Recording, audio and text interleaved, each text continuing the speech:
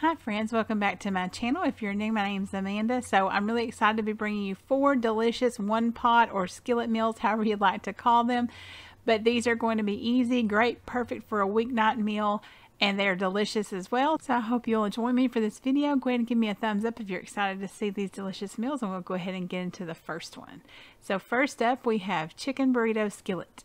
Now I don't know about y'all, but one pot meals are awesome for us because it uses less dishes. And anytime I can save on dishes I absolutely love it. So I've just added some oil to the skillet and we're just going to saute that rice for just a little bit and once we've got that toasted up we're just going to add some chicken broth as well and now for this meal, the recipe actually talks about using boneless, skinless chicken breasts and, you know, sauteing those and things like that. I actually had cooked chicken breasts and wanted to use that for this. So never feel like that just because a recipe calls for raw chicken that you can't modify it if you have cooked chicken on hand because this is a great way to use leftover chicken. So in here, I'm also adding some corn and some diced tomatoes. I'm also going to add a can of black beans that I've rinsed and drained as well as some green chilies. The original recipe didn't call for green chilies but I thought it would add some good flavor here so always again always feel free to modify a recipe to add something if you think it'll sound good. I've also got some spices going in here that we're going to mix in here well.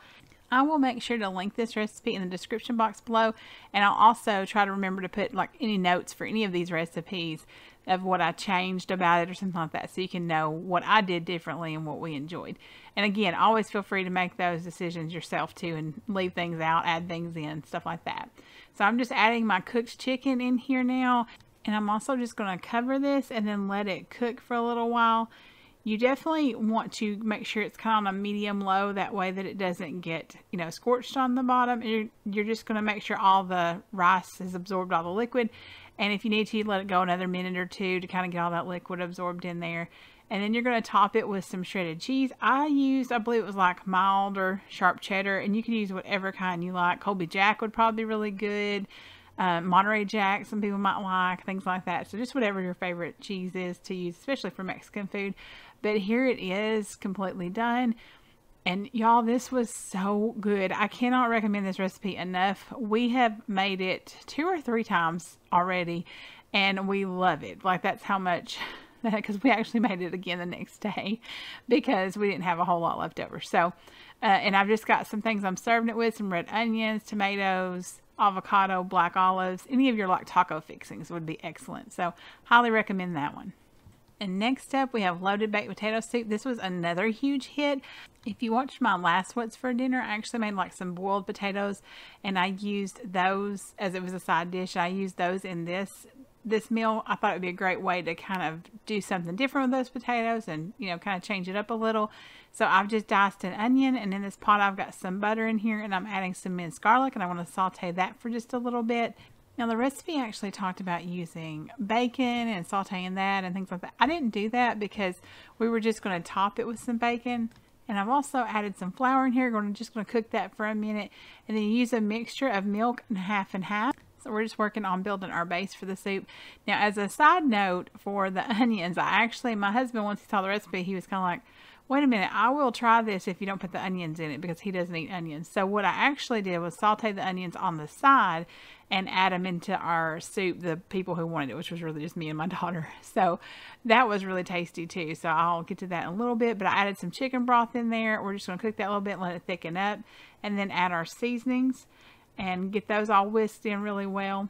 And then next will come our shredded cheese and you use a mixture of mild and sharp cheddar we're just going to get that all whisked together and mixed in there really well. And then we're going to start adding some sour cream in there. And that's just going to help even more with that creaminess.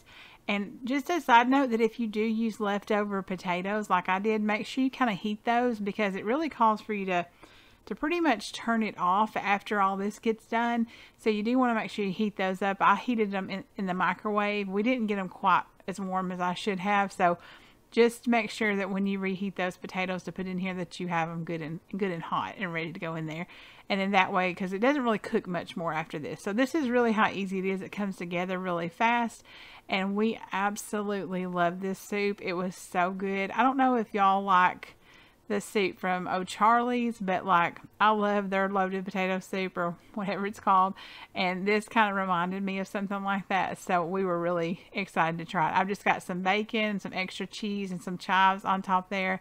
And the only thing I was missing was O'Charley's rolls. That would have been perfect. but definitely recommend that recipe.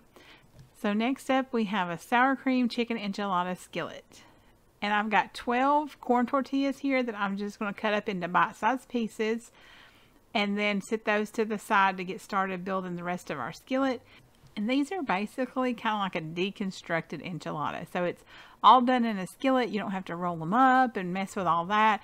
It's really easy and very flavorful too. So I've got those all cut up and next we're going to get started building our our kind of sauce. I've got some butter going in there and then I'm going to get that melted and add in some flour. And then we're going to add in some chicken broth and that's going to start building our base for that. Now, as far as seasonings, you can really do whatever you feel comfortable doing. You know, some people really love spicy, some people don't. Uh, I use like garlic powder, cumin, onion powder, Mexican oregano, chili powder, things like that. If, you know, you can use as much or as little of those as you want. I'll have the recipe linked below or I'll probably have it typed out below actually. And again, I'll kind of have guesstimates on how much I used, but it really is a lot of a personal preference kind of taste thing. And then I've got a can of the green chilies and I always buy the mild so just make sure you always get mild if you kind of try to keep the heat at, at a minimum because that's what I do.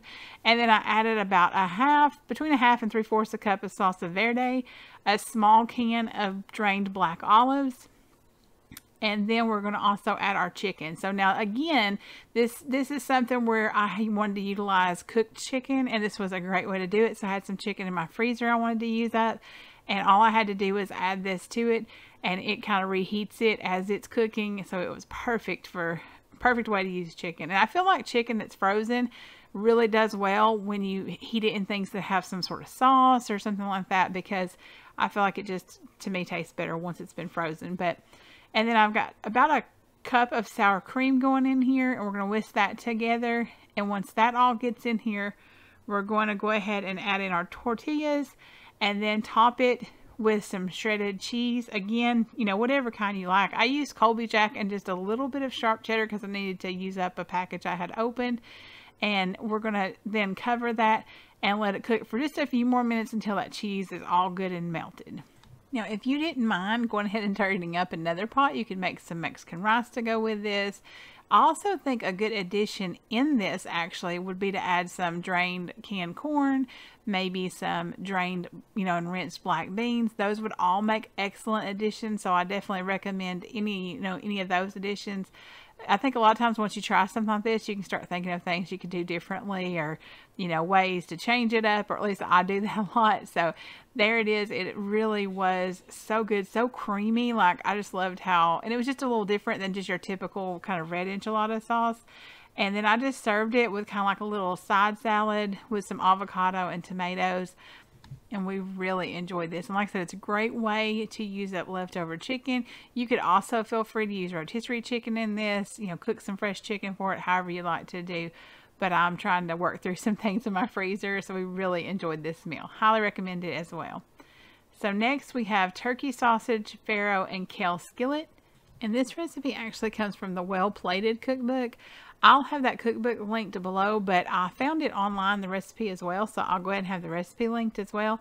And I'm just cutting up and dicing up a, a red onion. Now, I did make a little change to this recipe. It, it called for the turkey sausage, of course. And my daughter doesn't really like sausage, so I try not to use it a whole lot. And so we actually just used ground chicken for this recipe instead that we had on hand. And that worked just fine. I do think that it it meant that we didn't have as much spice. So like, you know, a sausage is really seasoned and I tried to add in some of the seasons I found to kind of duplicate a sausage flavor, but I don't think it quite did the trick. So me personally, I would prefer to have the sausage in it, but you know, this turkey would definitely work, you know, or um sorry, ground turkey or ground chicken. Either one of those would work. You just might want to really up some spices and kind of see. So now that I've got that ground chicken added in there and like that was already cooked in my freezer. And y'all that is such a time saver to have things like that thrown in your freezer to put in recipes like this. And then I just added the spices into the recipe. I also added some garlic. I went a little heavy on the garlic. We really do like garlic. And so it, we always enjoy it when that's in recipes a lot of it and then I'm going to go ahead and add in the kale. And I just bought a big bag of the kale from the store like it's already washed and made it super simple to go in here. There's like a it's like a huge bag I got at Kroger and it really wasn't too expensive or anything. So and I actually had never cooked with kale. I've had kale before in that there's like a superfood salad that Chick-fil-A used to have that had kale in it and it was so good but um, I had never actually cooked with it before and I, I enjoyed it. Now I've just got some cannellini beans going in here as well as some diced canned diced tomatoes and some farro. Have y'all ever had farro before? Let me know down in the comments. I really like the texture of it a lot so I really want to try to learn some different things to make with it because I do like it a lot. I also added in a little chicken broth and I got a little worried that wasn't going to be enough, but it was. I just had to keep an eye on it make sure I didn't need to add any. And I'm also adding a little bit more seasoning in there, some salt and some Italian seasoning.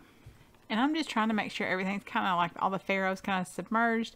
And you're just going to cook this for about 25 to 30 minutes and you don't cover it or anything. And like I said, just keep an eye on that liquid level. If you feel like you might need to add a little more, you definitely can do that. Once it gets done, you're going to want to add in some Parmesan cheese. And I also topped mine with a little Parmesan cheese. This is such a like nutritious meal. So, and it's hearty with the beans and kale and everything. So I would definitely like to try it with the sausage to another time. So thank y'all so much for joining me today. I hope you've enjoyed this video. If you have, I'd appreciate it if you give me a thumbs up. If you haven't already, I'd love it if you'd hit that subscribe button and that notification bell so you can join my YouTube family and not miss out on any more delicious recipes. And I hope you're having a blessed day wherever you are. I'll see you in the next one.